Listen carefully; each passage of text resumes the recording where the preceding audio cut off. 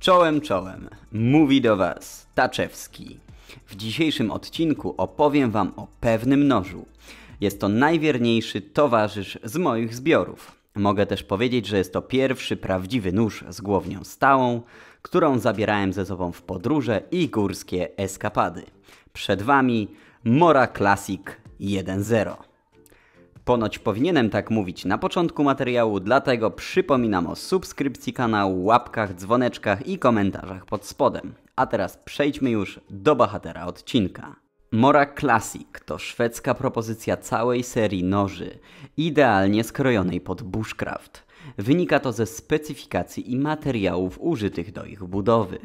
Model 1.0 nie jest jedynym przedstawicielem tej rodziny. Istnieje jeszcze Mora 1.0 w wersji ekskluzywnej, istnieje też Mora 2.0 w wersji zwykłej oraz taka z osłoną palców, czyli jelcem. Jest to Mora 2.0 F. Do tego mamy Morę 3.0, a nawet ośnik w podobnym stylu. Jest to Mora Wood Splitting Knife. Wszystkie te narzędzia oprócz ostatniego są zbudowane identycznie. Różnią się tylko rozmiarami.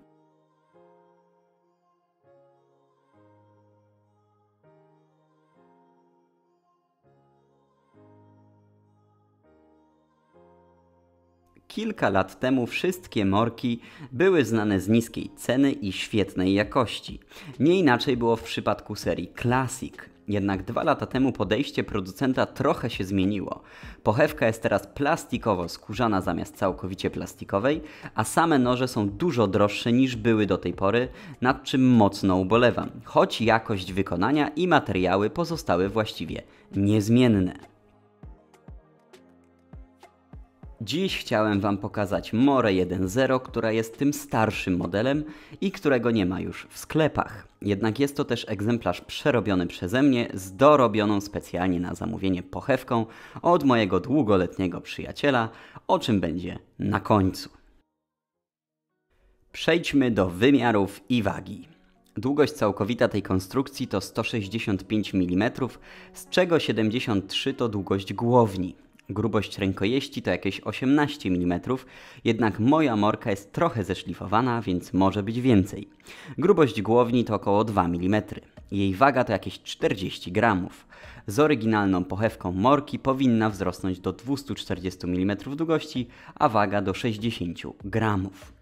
Nożyk zbudowany jest ze stali węglowej, czyli rdzewnej C100 oraz z drewna brzozowego barwionego na czerwoną ochrę. Wykonanie samego narzędzia wstrzeliło się w moje gusta. Drewno było świetnie wymalowane, a głownia ładnie wyszlifowana, oprócz chyba celowo pozostawionego zgorzela na grzbiecie. Pierścień oddzielający głownię od rękojeści to również jakiś rodzaj stali węglowej, który ma tendencję do rdzewienia. Jeśli idzie o materiały, to nie mam zarzutów, bo zamysłem tej serii jest pewna surowość i za pieniądze, które przyszło mi wydać, naprawdę nie można mieć żadnych zastrzeżeń, oprócz tego mało fortunnego zakończenia rękojeści. Inaczej jednak może być to postrzegane dzisiaj. O specyfikacji wiele się nie naopowiadam. Nóż to klasyczny hidden tang, co w połączeniu z rozmiarami powoduje, że batonowanie i ciężkie prace zupełnie odpadają. Jest to genialny kuchenniak i strugacz, ale nic poza to. Beczułkowata rękojeść daje wygodny i bardzo uniwersalny chwyt dla wielu dłoni, co strasznie mi się spodobało, zero udziwnień i prostota. Ostrze o profilu lekkiego clip pointa daje niezłe właściwości przebijające, do tego niskie skandi sprawia, że ostrze jest znacząco wzmocnione. Może ten nóż nie będzie żyletką do cięcia na wzór węglowych opineli, ale z typowo nożowymi zadaniami poradzi sobie świetnie.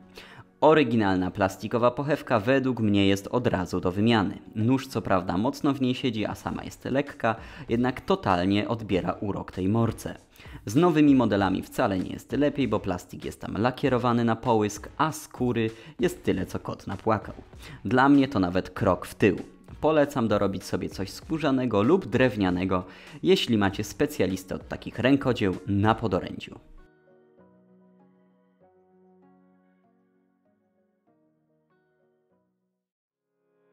Jeśli idzie o podsumowanie, to muszę przyznać, że bardzo polubiłem ten nóż na przestrzeni lat. Dla mnie to idealny leśny nek, co zresztą widać po przerobionej pochewce od producenta. Jednak obecnie nie podoba mi się za bardzo cena, jaką trzeba zapłacić za ten nóż. 120-140 zł to sporo za dużo jak za nożyk z taniej węglówki i drewna brzozowego w plastikowej pochewce. Dawna cena do 50 zł znacznie bardziej mi odpowiadała. Jeśli jednak ktoś chce go mieć i jest gotowy wydać taką kwotę, to mogę z pełną świadomością swoich słów polecić każdego przedstawiciela serii Classic od szwedzkiej Mory. Jednak to nie wszystko. Przejdźmy do zmian, jakie wprowadziłem w swoim egzemplarzu względem stanu fabrycznego. Na początek zacząłem od pochwy. Urżnąłem to bezsensowne ucho i przewierciłem małe dziurki na parakord w samej pochewce, dzięki czemu nóż ten lepiej się trzymał oraz nosiło się go znacznie wygodniej. Potem zabrałem się za sam kozik, jakby powiedział mój dziadek. Zdarłem farbę z drewna do uzyskania jasnej i naturalnej barwy. Potem przypaliłem całą rękojeść, przetarłem papierem ściernym o gradacji 1000 lub więcej i nasmarowałem olejem lnianym. Efekt końcowy widzicie na zdjęciach. Za nową pochwę odpowiada mój serdeczny przyjaciel Łukasz, który zwany jest przez wszystkich Starym Królikiem. Łukasz jest rekonstruktorem historycznym z czasów przedchrześcijańskich oraz rzemieślnikiem, który tworzy przedmioty związane z epoką.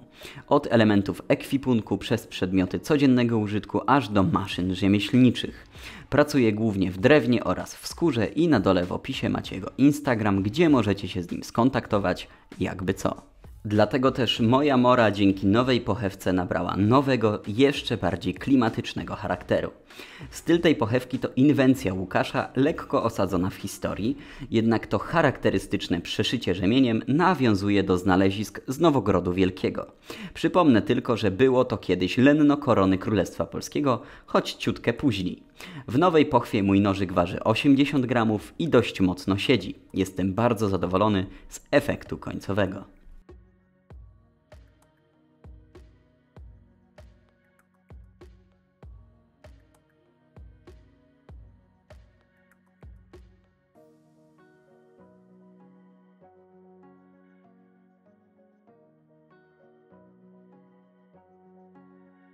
I to wszystko na dziś. Pamiętajcie, żeby zostawić łapkę pod moim filmem, najlepiej w górę oraz subskrypcję na kanale z dzwoneczkiem.